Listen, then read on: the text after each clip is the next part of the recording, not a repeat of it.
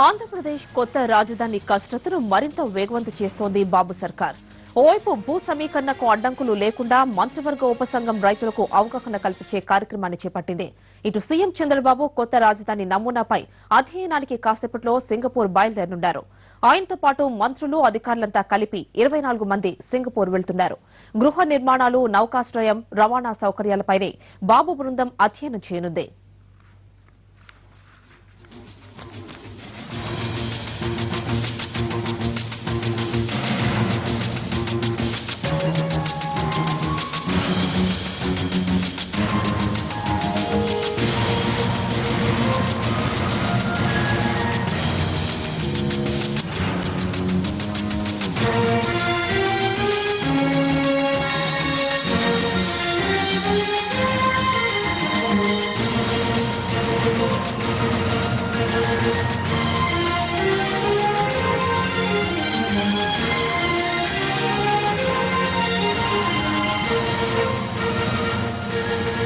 ఆంధ్రప్రదేశ్ కొత్త రాజధాని కసరత్తును మరింత వేగవంతం చేస్తోంది బాబు సర్కార్. ఓవైపు భూ సమీకరణకు అడ్డంకులు లేకుండా మంత్రివర్గ ఉపసంఘం రైతులకు అవగాహన కార్యక్రమాన్ని కల్పించే కార్యక్రమాన్ని చేపట్టింది.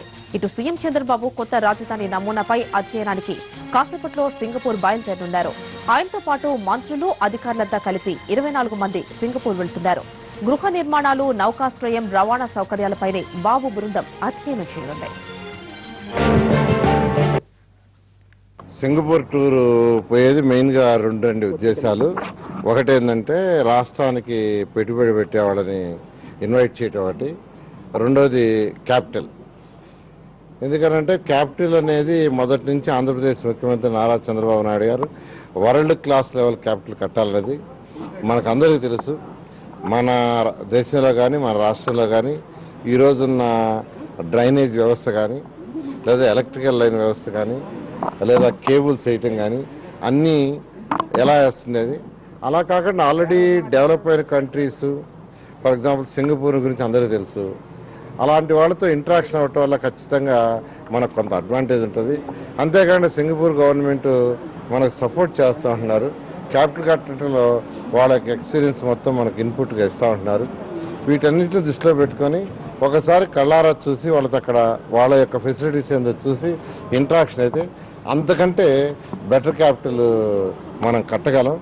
ఆ ఉద్దేశంతో పోతున్నాం. ఖచ్చితంగా ఈ ట్రిప్ వల్ల మనం కట్టబోయే రేపు క్యాపిటల్కి అన్ని విధాలు ఉపయోగపడుతుందని తెలియజేస్తాం.